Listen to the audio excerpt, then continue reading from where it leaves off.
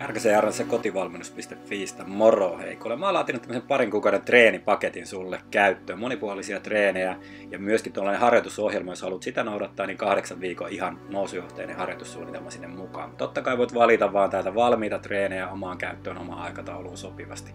Liikkuvuuspuolelta mä tykkään käyttää paljon tämmöisiä kevyitä, lempeitä treeniohjelmia. Sieltä löytyy 10 minuuttinen ja 15 minuuttinen, joita sä voit käyttää myöskin palauttavina harjoituksina ja lämmittelyinä esimerkiksi muihin treeneihin. Mutta loistavia semmoisia lempeitä liikkuvuusharjoitteita.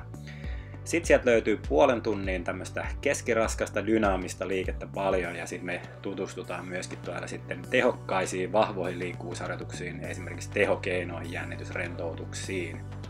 Eli niillä saa kunnolla sitten kehoa auki ja toimimaan. Näinä aikoina tarvitsee välillä rauhoittua, rentoutua, laskea niitä stressejä, niin mä oon lisännyt tänne kaksi tämmöistä eri rentoutus-, rauhoittumis-, hengitysharjoitusta. Joogaa löytyy vähän iisimpää perus, perus flow joogaa. 15 minuutin setti sekä sitten vähän tehokkaampi puolen tunnin setti.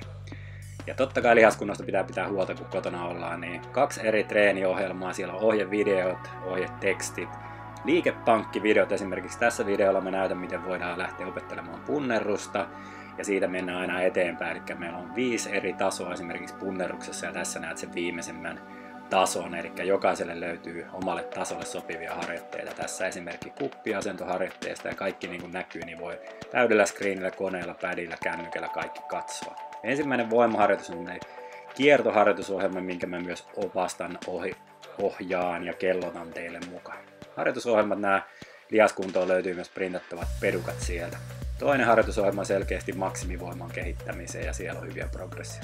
Mene meidän etusivulle kotivalmennus.fi, sieltä etitään kotitreenit kahden kuukauden paketin, sieltä voit vähän lisää infoja vielä katella vastauksia kysymyksiin ja sitten vaan kun klikkaat tosta noin, niin hei liity meikäläisen mukaan, teet sinne tilin ja 59 euroa nyt tää kamppisinta huhtikuun, ei kun vaan mukaan treeneihin. www.kotivalmennus.fi.